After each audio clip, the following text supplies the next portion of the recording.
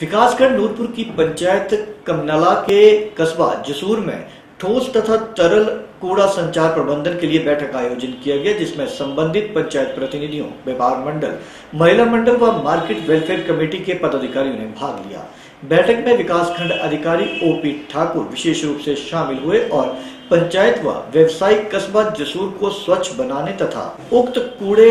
कचरे के प्रबंधन और उसके निष्दान के लिए लोगों से चर्चा की और उनसे ज़रूरी सुझाव भी लिए। खंड विकास अधिकारी ने कहा कि पंचायत के कुल नौ वार्ड है और 2011 की जनगणना के आधार पर पंचायत की कुल जनसंख्या अड़तालीस है। वहीं जसूर बाज़ार में करीब 600 दुकानें व अन्य सरकारी और गैर सरकारी संस्थाएँ हैं। ऐसे में यहाँ ठोस एवं तरल कूड़ा कचरा काफ़ी मात्रा में इकट्ठा होता है। वहीं घरों, दुकानों व अन्य संस्थाओं का गंदा पानी भी एक मुख्य समस्या है। इस समस्या से निजात पाने के लिए सभी को मिलकर कार्य करना होगा ताकि पंचायत सहित व्यवसायिक कस्बों को पूरी तरह स्वच्छ बनाया जा सके। आज की जो बैठक है, ये जो हमारी कमराला पंचायत है, जिसमें हमारा जसूर का जो सेमी अर्बन एरिया है, वो पड़ता है, उसमें जो सॉलिड और लिक्विड वेस्ट जो यहाँ पे जनरेट होता है उसको मैनेज करने के लिए कि किस तरीके से इसको मैनेज किया जाए, उसका प्लान बनाने के लिए आज यहाँ पे बैठक की गई, जिसमें पंचायत के सभी चुने हुए प्रतिनिधि, व्यापार मंडल,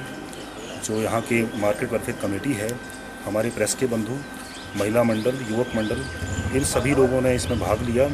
और अपने अपने सभी ने जो है वैल्यूबल सजेशंस दिए कि किस प्रकार से जो है पंचायत क्षेत्र को कूड़ा मुक्त किया जा सकता है। और ख़ास करके इसमें इस बात के ऊपर चर्चा हुई कि जो ये